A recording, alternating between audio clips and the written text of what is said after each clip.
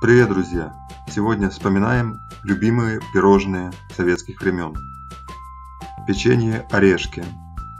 Они готовились из песочного теста и наполнялись вареным сгущенным молоком. Такое угощение не только покупали, но и готовили своими руками. Грибочки в корзинке. Корзинки из песочного теста, прослойки джема, белкового крема и украшения. Чаще всего украшали пирожные грибочками со шляпками из теста. Хрустящие трубочки с кремом. Сначала слизывали крем, а затем наслаждались вкусом слоеной трубочки, которая буквально таяла во рту. Кондитеры четко следовали инструкции и стандартам, поэтому кремом была заполнена вся трубочка. Эклер.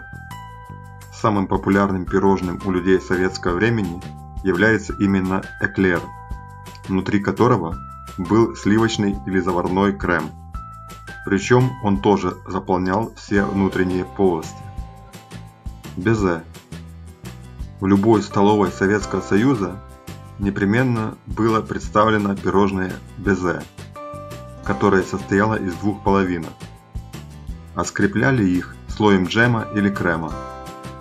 Воздушные кусочки просто таяли во рту, оставляя после себя сладкие воспоминания. Персики.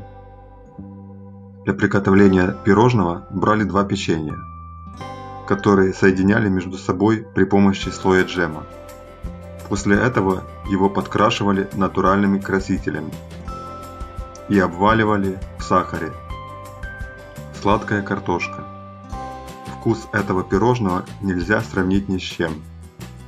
Что самое интересное, его готовили из остатков коржей для торта после обрезки, сухого печенья и так далее. Они измельчались и смешивались со сливочным маслом или кремом. После этого лепилась картошка, которую обваливали в какао. Все так просто, но как же вкусно. Мокрое бисквитное пирожное.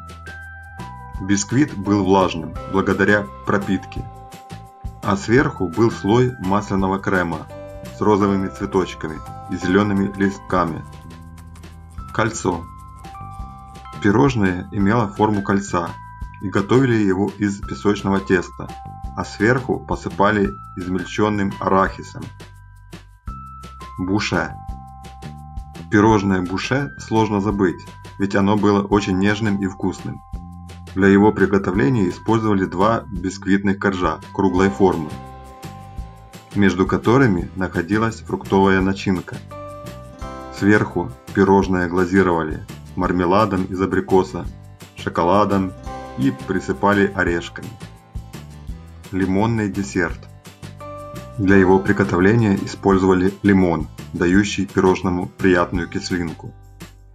Крем для него окрашивали, чтобы получить приятный желтоватый оттенок. Птичье молоко. Пирожное птичье молоко состоит из воздушного бисквита, нежнейшего суфле и тонкого слоя шоколадной глазури. Наполеон. Наполеон продавался в кондитерских и в кафетерии по 22 копейки за штучку. Но также готовился хозяйками на кухне.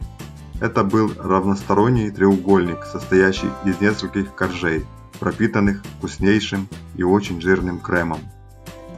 Ну вот и все, ребята. Это был небольшой экскурс в мир пирожного СССР. Всем спасибо за внимание и всем пока.